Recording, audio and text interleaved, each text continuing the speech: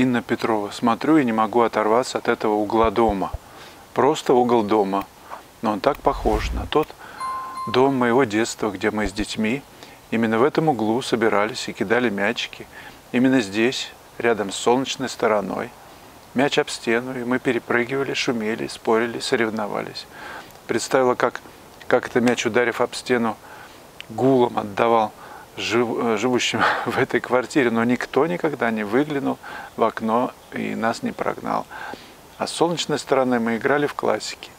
А над нашим окном вели гнездо ласточки. Давно родители переехали, но я до сих пор помню все. И этот дом самый любимый на свете. Но совсем не уверена, что приехав, вспомнив, я выбрала бы для картины, для картины именно этот угол. Слава, как у вас получается увидеть в малом такое трогательное начало? Просто угол, просто свет. Спасибо, Инна, за блестящий рассказ. Я э, ждал э, в таверне, мы договорились с подругой, художником, пописать утром, и ждал ее, чтобы пойти на пляж или на лодочную станцию в Гурзуфе. Но чувствую, не могу уйти, потому что свет так сильно привлек меня, который падал, вот утренний свет. И в одну сторону я писал, и в другую. Так что э, просто невозможно было уйти от красоты. Все сложилось, все в простом красивое. Ну а что такого? Человек смотрит на тебя, просто человек, может быть даже пожилой, но ты смотришь в его глаза и, и невозможно оторваться. Вот как тут быть? Глаза. Ну, сотни раз мы видели эти глаза. Но через них ты проникаешь в какие-то более тонкие слои. И по сути, разговаривая с человеком, ты разговариваешь совсем с начальством. Так и здесь. Просто свет, просто тени, листва, какие-то обычные события, люди ходят. Любое место может так сильно тронуть, что ты не можешь оторваться и раскладываешь свой скарб и пишешь. Художник в любом месте найдет, что писать. Важно, чтобы видеть, важно, чтобы быть впечатленным, важно настрой на то, чтобы увидеть, желание, жажда, жажда во всем, вот увидеть красоту. Людмила Сербина вчера вышла в сад, чтобы написать распустившуюся белоснежную розу и вошла в ступор. Я поняла, что бессильна перед этой красотой. Как бы ее я ни написала, в какой бы технике, мне не передать этой неземной красоты. Слава, бывали ли у вас моменты ступора? Пожалуй, нет, Людмила, потому что я знаю, что я пишу свое ощущение. Только в этом вся сила, что ли. Дело в том, что если перед тобой стоит задача передать то, что вы видите с максимальной точностью, это одна история. Вот тут может быть ступор.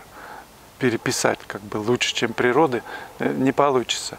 Когда же перед вами задача написать свое отношение к этому, то наоборот вырастают крылья, потому что ошибок быть не может. Это ваше отношение ваше ощущение, ваш дизайн, ваше новаторство, ваш взгляд, особенный взгляд на вот эту ситуацию. На холсте возникнет ваш вкус живописи, ваше видение, которое здесь изображено. Это ваша интерпретация того, что вы видите. Сочинение.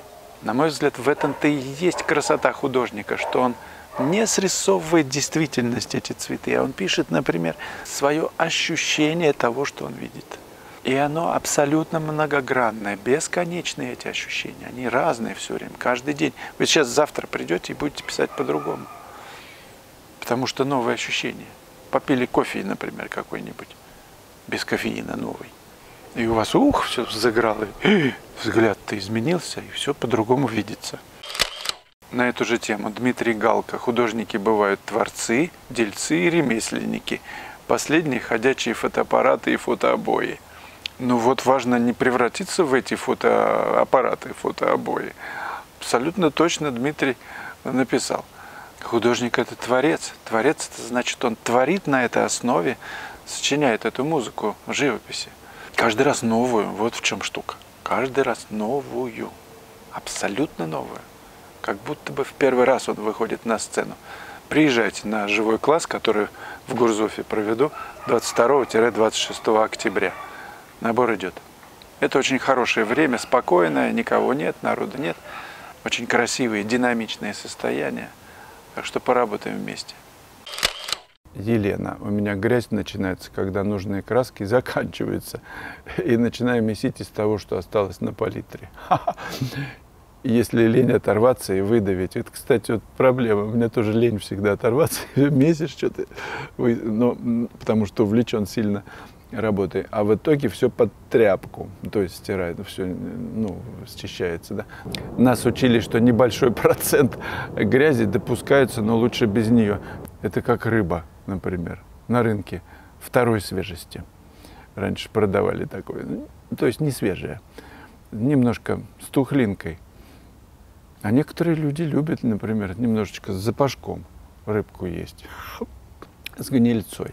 У меня был такой мощный опыт. Я целиком не расскажу всю историю, но отдельный фрагмент. Когда студия была и снимали мы фильмы, нас пригласил один человек – снять фильм про медитирующих людей. В общем, такая длинная история. И потом он спросил, ну как тебе? Вот понравилось, что тебе понравилось, что тебе не понравилось. Ну, я, будучи честным человеком, а идея такая, что, что люди медитируют, например, условно говоря, 5000 человек, и все на Земле изменяется, поле улучшается, и, все становятся добрее, светлее, такие небесные. Как тебе такая идея?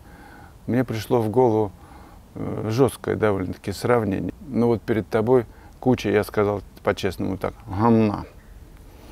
И ты сыпешь на него сахар, например. Много сахара, 5000 крупинок сахара. Но вкус от этого не изменится. Он очень поерзал, поерзал сильно. Мы потом отказались от этого проекта, но было очень все так непросто. Э, так вот, э, как можно допустить процент грязи в живописи, на мой взгляд? Это э, я бы поговорил с этими ребятами, которые вас учили допускать небольшой процент грязи. А зачем? Зачем еда с гнильцой? Или помидор ты ешь, например, а там допускается 5% гнилого. Ну, ты его чикаешь, а ничего там незаметно будет.